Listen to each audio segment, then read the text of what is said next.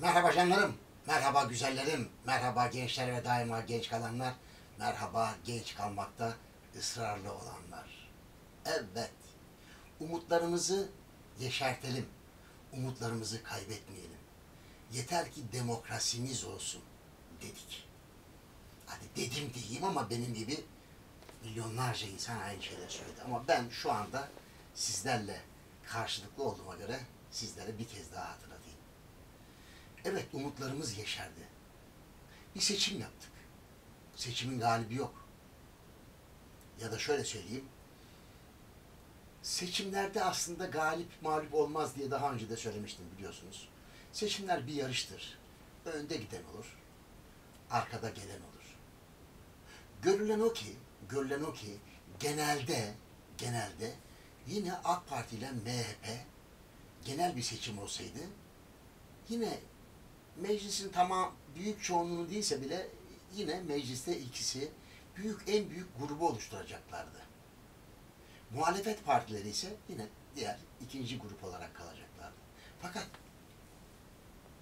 başka bir şey var.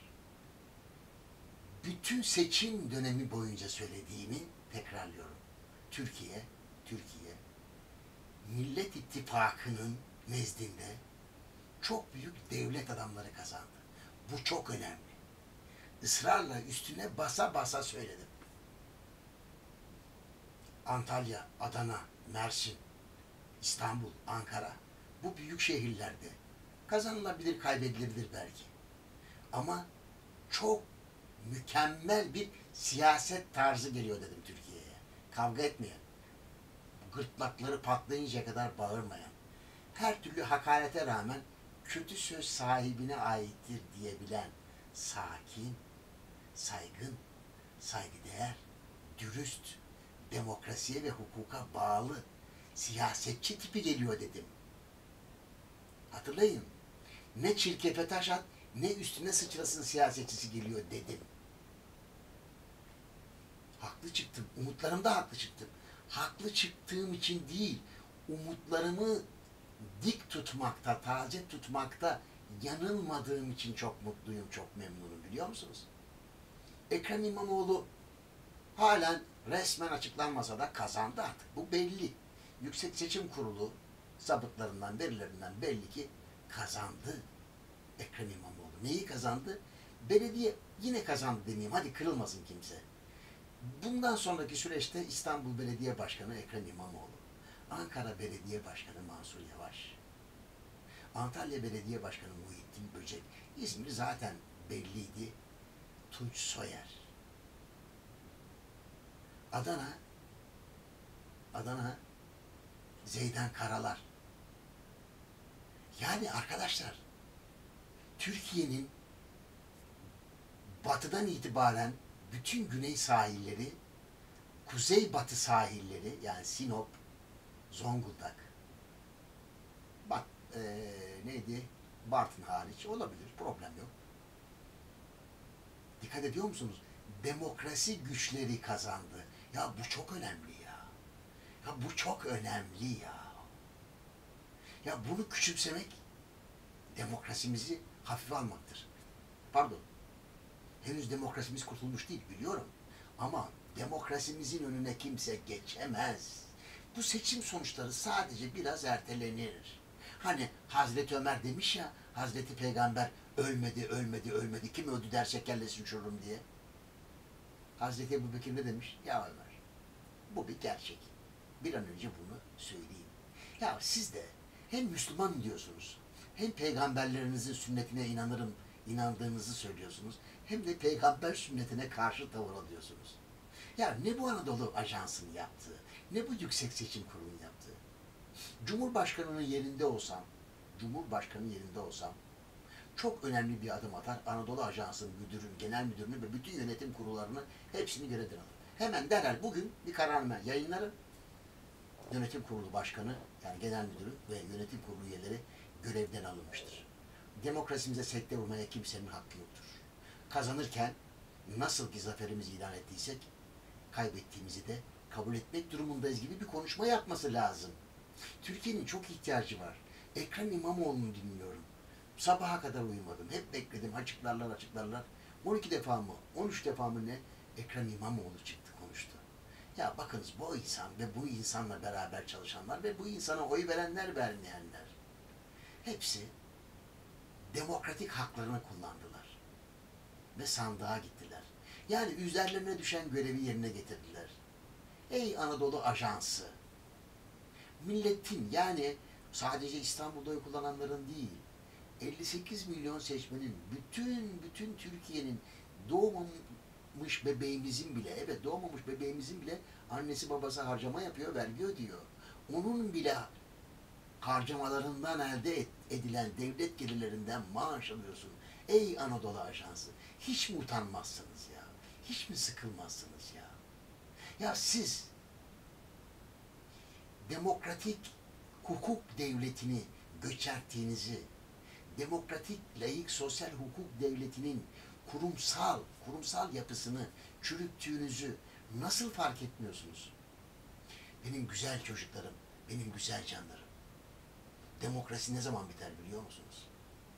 Demokratik kurumlar çöktüğünde.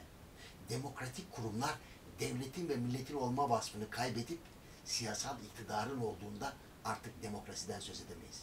Şu anda, şu anda ne yazık ki, ne yazık ki Türkiye demokrasinin kazandığına ilişkin cümleler kullanamıyor. Çünkü demokrasi henüz kazanmış değil. Seçim sonuçları var, seçim sonuçları açıklanmıyor. Esad'ın Suriye'sinde böyle bir şey olabilir miydi? E olabilir, kimse de yadırgamazdı. Mısır'ın Mursi'nin yönettiği Mısır'da da olabilir mi? Olabilir. Kimse yadırgamazdı. Ama Türkiye Cumhuriyeti Devleti 145 yıllık bir sandık ve demokrasi geleneğine sahip. Bu geleneği bir kalemde Anadolu Ajansı gibi bir devlet kurumu ve Yüksek Seçim Kurulu gibi egemenliğin kayıtsız şartsız bir numaralı gücü olan bir kurum engelleyemez. Ona gölge düşüremez. Düşürmemeli. Ya ne güzel açıklama yapıyor önde gelenler. Nerede önde gelenler? Seçim sandığından önde çıkanlar. Adana'sından tutun Mersin'ine, Antalya'sına, İzmir'ine, Ankara, İs- İstanbul bütün bu bu Türkiye'nin Türkiye'nin yarısı demek olan büyük şehirler. Sanayinin ve vergi gelirlerinin neredeyse yüzde yetmiş beşi demek olan bu şehirleri yeni belediye başkanları kardeşlik, dostluk, barış mesajları veriyorlar. Cumhurbaşkanı ile beraber çalışacağız diyorlar. O hepimizin cumhurbaşkanı diyorlar. Dört buçuk sene görev süresi var diyorlar. Hiç erken seçim isteyen yok. Ve buna rağmen buna rağmen Cumhurbaşkanı halen çıkıp Anadolu Ajansı genel müdürlüğü ve yönetimini görevden almıyor. Binali Yıldırım, Binali Yıldırım beni hayal kırıklığına uğrattı. Samimiyetle söylüyorum ki beni hayal kırıklığına uğrattı. Nasıl ki meclis başkanlığından istifa etmeden belediye başkanlığı yarışına katılmayacağı konusunda yanılmadıysam ki herkes hemen hemen yanılmışken ben ısrarla hayır mutlaka istifa edecektir dedim ve yanılmadım. Ama Binali Yıldırım'ın demokratik tahammülü konusunda yanıldım. Binali Yıldırım'ın demokratik tahammül konusunda AK Partililerin kavgacılarından, nefret üzerine siyaset yapanlarından hiç farkı yokmuş. Benim bildiğim, benim tanımak istediğim, hatta benim tanıdığım Binali Yıldırım çoktan rakibini tebrik etmeliydi. Çoktan. Evet demeliydi. Kaybettik. Muharrem İnce'ye kızmışlar da adam kazandı dediğinde Muharrem İnce'nin doğrusunu yapmıştı. Ne dedi Ekrem İmamoğlu? Eğer rakibim kazansaydı ben hemen telefon açar tebrik ederdim dedi. Ya demokrasi bu ya. Demokrasi hoşgörü falan değil. Bunu defalarca anlattım. Ne, ne demek hoşgörü? Hoşgörü kibirdir ya. Kimsenin kimseye kibir göstermeye hakkı da değil, haddi de değil. Bakın kibirlilere halk o esas Türkiye'nin en büyük, en güçlü Türkiye ekonomisi demek olan şehirlerinde nasıl ders verdi? Zihniyetini değiştir dedi. Bak ben seni değiştirmiyorum dedi. Sana yine oy olarak muhalefet muhaliflerinden fazla oy veriyorum. Ama bu zihniyeti değiştir. Bu üslubu değiştir. Bu kavgacılıktan vazgeç. hem kendi insanlarınla hem ulusların bütünüyle, bütün devletlerle barış dedi. Kavganın kimseye yararı yok dedi. Dünya barışarak, konuşarak, dostluk kurarak, iletişim kurarak, yardımlaşarak güzelliklere geldi, güzelliklere gidecek dedi. Türk seçmeninin, Türk seçmeninin demokrasiye inanan bölümü bilhassa harikalar yarattı. Evet, doğrudur. Rahmetli Ecevit'i yüzde yirmi iki buçuktan yüzde bir buçuğa düşüren o seçmen kültürü merkez sağda yok ya da sağın sağında yok, ülkücülerde yok, İslamcı gelenekten gelen seçmenlerde yok.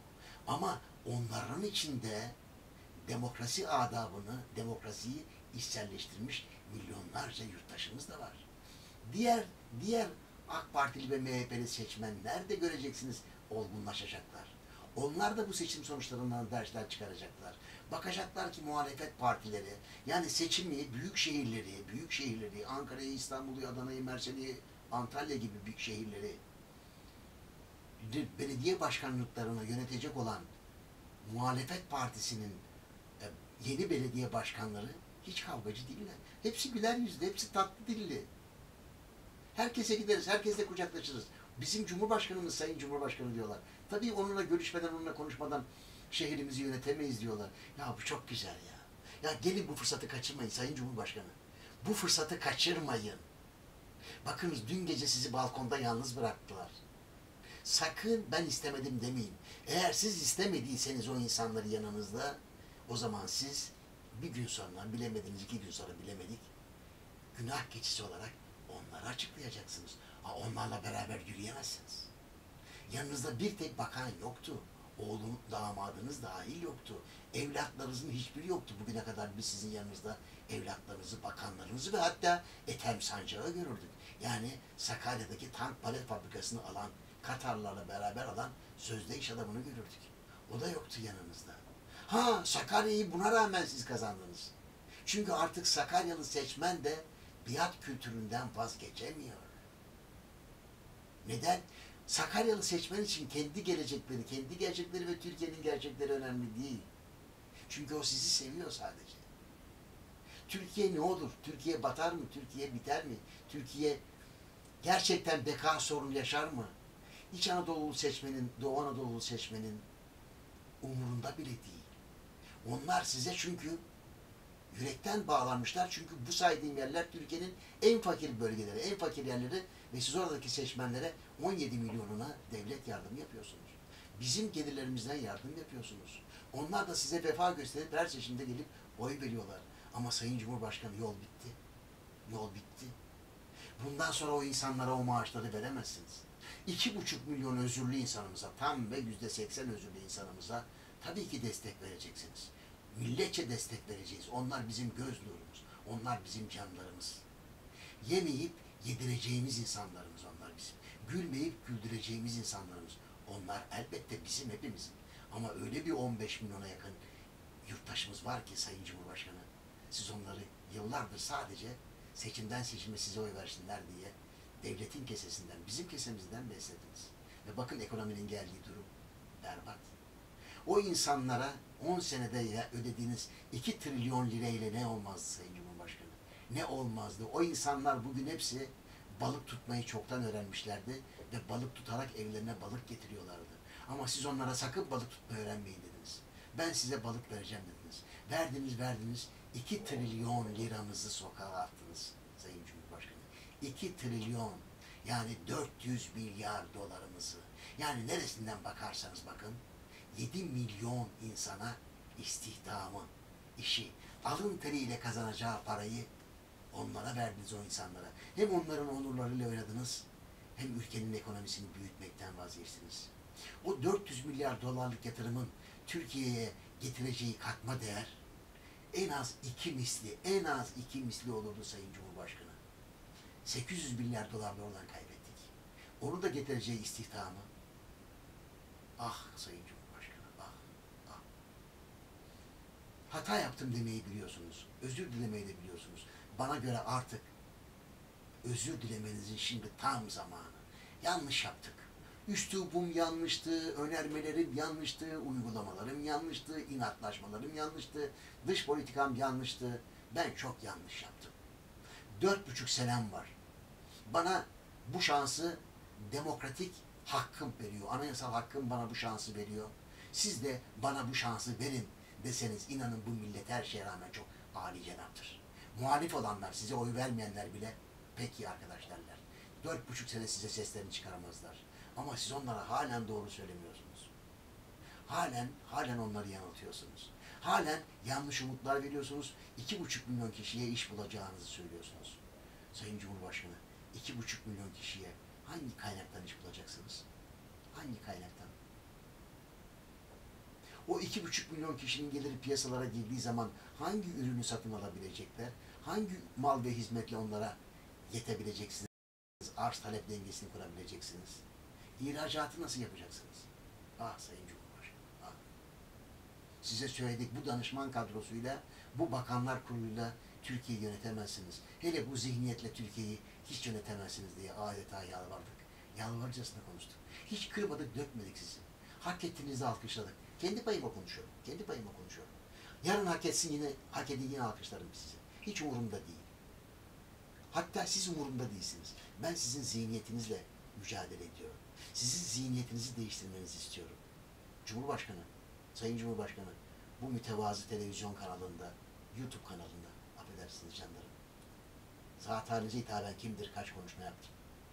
Hele biri var ki yaklaşık 10 ay önce, 11 ay önce yaptığım bir konuşma. Erdoğan ya değişecek ya da Erdoğan'ı değiştirecekler dedim. Sayın Cumhurbaşkanı, ya değişeceksiniz, yani kendiniz değişeceksiniz.